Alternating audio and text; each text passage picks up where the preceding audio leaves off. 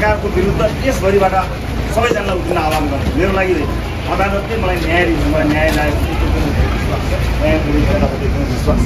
तर केपी ओलीको सरकार रहिरहने हो भने यो देशले धेरै दुःख पाउँछ। त्यस कारणले यो अधिनायकवादी सरकारका विरुद्ध चाहिँ यही बेलामा देशैभरिबाट जो जो जहाँ जहाँ हुनुहुन्छ मेरो लागि होइन।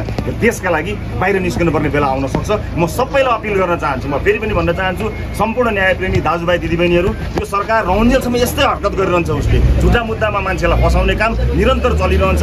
म फेरि पनि अनुरोध गर्न चाहन्छु पोखरामा रहनुभएका सम्पूर्ण दाजुभाइ दिदीबहिनीहरू मेरो लागि होइन।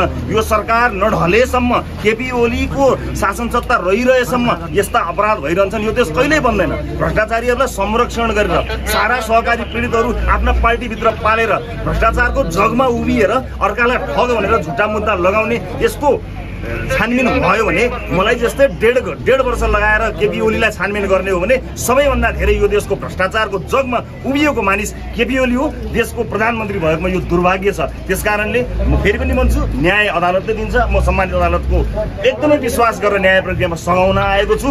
तर देशभरिका सम्पूर्ण न्यायप्रेमीहरूलाई यो अन्तिम लडाइँ यिनीहरूको यो वर्चस्व राज्य सत्ता कब्जा गर्ने आफ्ना मान्छे भर्ने र जनतालाई सधैँ दुःखमा राख्ने र यसै गरी निर्दोष मान्छे फसाउने यिनीहरूको यो सत्ता अब अन्त्य हुनुपर्छ। त्यसका लागि देशभरिबाट र विशेष गरेर पोखरामा रहनुभएका कास्कीमा रहनुभएका दाजुभाइ दिदीबहिनीहरू घर घरबाट आएर यो सरकारको विरोध यसको रवैयाको विरोध गर्नको लागि म वीरेन्द्र अनुरोध गर्न चाहन्छु। हस् धन्यवाद।